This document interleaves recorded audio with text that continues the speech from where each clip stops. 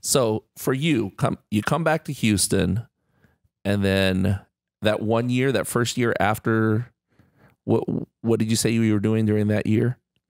That first year I- after in seminary, I was working at the vocations office, Okay, um, helping out there, and then also helping out at a parish, kind of doing both those at times. So I was with Father Dad again in the vocations office then, which was great. That's pretty cool. How you're you're back with Father Dad now.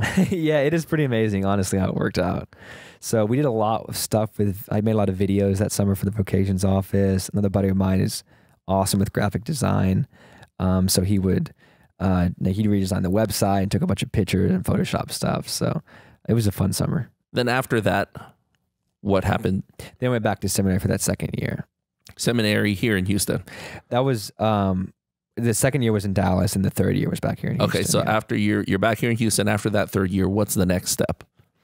third year, well, not, another year. So I then I spent a summer in the parish, St. Faustina. Yes. Okay. great. uh, okay. and then um, the fourth year in um, fourth year at the, at the seminary here in Houston, and then after that is when you go into your pastoral year, where you spend an entire year at a parish. And where was that? that was at St. Martha's in Kingwood with Monsignor Borski and Father Richard McNeely, which is interesting.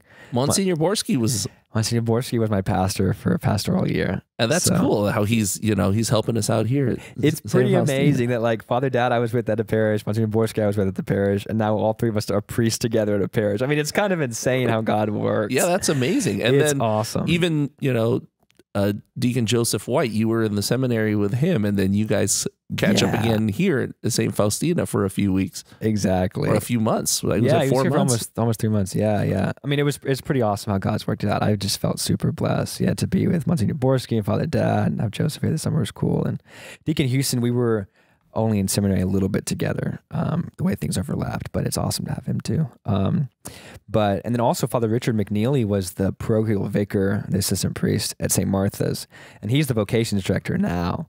So it's funny because actually my my last year in seminary. So he was like the the priest at the parish when I was on pastoral year, and we were in seminary together um, for a year when he was a deacon.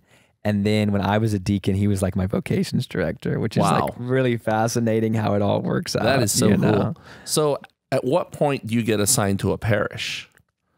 As a as a uh, for pastoral year, Okay, It, for pastoral year, is that what you mean? Yeah, yeah.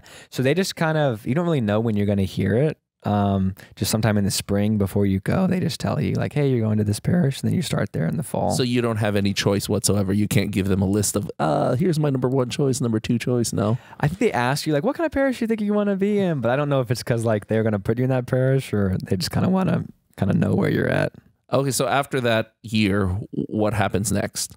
Yeah. So for me going into that year, honestly, I was probably like 50 50 on discernment. You really? Know? Still? Yeah. So that was four years in, going to my fifth year. And I just, I remember telling God, like, if, if this doesn't go well, you know, and I just don't feel a lot of peace about parish life, Uh huh. then like I probably need some more time to figure How old were this you out. at this time? So I was 22. Okay. Yeah. Um, but I said, hey, if this is a good fit, you know, I feel a lot of peace about this, then like I think we're good to go. So, um, and it was just an amazing experience. It was so great to be with the people and all these incredible moments, you know, whether it was funerals, weddings, just hanging out with the youth group, playing dodgeball with the kids at the school, you know. There were so many moments where I thought like, yeah, I could give my life to this. Like this would be worth it, you know. And and you go from like in seminary, you know, you're celibate, right? You know, Uh-huh. you're looking to like a whole life of celibacy and you want to give the Lord everything, but you're also kind of wondering like, who am I celibate for? You know, am I celibate to take this test? You know, like this doesn't really add up. And finally, on that pastoral year, um, you know, being with the people, it was like, okay, these are these are the people I'm gonna be celibate for. Like these are the people worth with giving my life to. You know, and so um, to kind of be able to see that and to have it be real. Um, I came out of that year, feeling very strong, like, okay, I, I could do this with my life and um, let, let's keep going, make it happen. So when you were at that point of being 50-50, did you think did did you think, okay, well maybe I could be a deacon? That were you were you kind of swaying between those thoughts?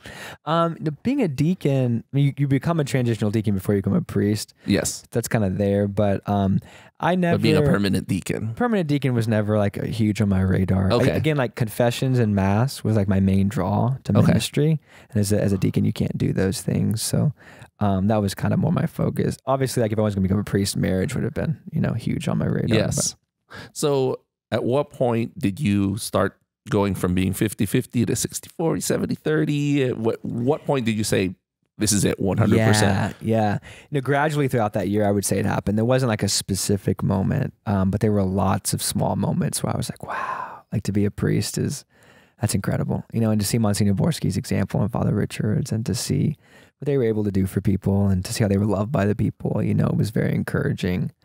Um, so yeah, lots of moments throughout that year when I just thought like, hey, I could give my life to this, you know. And so by the end of that year, I just wanted more more time in the parish. I wanted to be with the people more. So coming back to seminary for that third year was really good actually because was like, okay, like we're, we're going to be in the parish again in a couple years as a priest. So like let's make the most of this time and Mm-hmm. really focus on these classes and um, look look toward like a bright future. So two more years, did you say? After yeah, two that, more years after that. One year just kind of as a seminary, and then the last year as, as a deacon. Yeah, as a deacon, and and then you were a deacon. Where were you a deacon? I was a deacon at Most Holy Trinity. Okay. um, in Angleton. And that was kind of cool too because the pastor there had actually been a seminarian on pastoral year at my home parish growing up, Nice. Which was incredible. So like just like I did my pastoral year at St. Martha's, he did his pastoral year at St. Paul's in Nassau Bay when I was probably like 14. He played the he's an awesome drummer, Father Victor Perez. He played drums for retreats and I was like, "Hey, this is a cool guy," you know. And so the fact that they assigned me to be like his I mean, we have 150 parishes in the archdiocese and 400 priests Yes. the fact that I keep getting assigned with these guys who like I have kind of like a you know some some type of like history with is pretty cool. Um, so that was a fun year hanging out with him and being a deacon there. Very different than St. Martha's. St. Martha's was about six thousand families. Um, a lot of big stuff happening. This was about fifteen hundred families, a little bit smaller out in Angleton. But I loved that too. I loved the pace of that and getting to know people and being with Father Victor. So a huge blessing. Do you ever get to go back to those parishes? Yeah, so I said mass there a couple months after I'd been a priest, which was cool. A couple times. Mm-hmm. Um, St. Martha's, I went and said mass there too after I became a priest. Went and helped on one of their retreats, the confirmation retreats, a couple months ago. So um, yeah, definitely trying to keep those keep those relationships and those connections and give back to the people who did so much for you.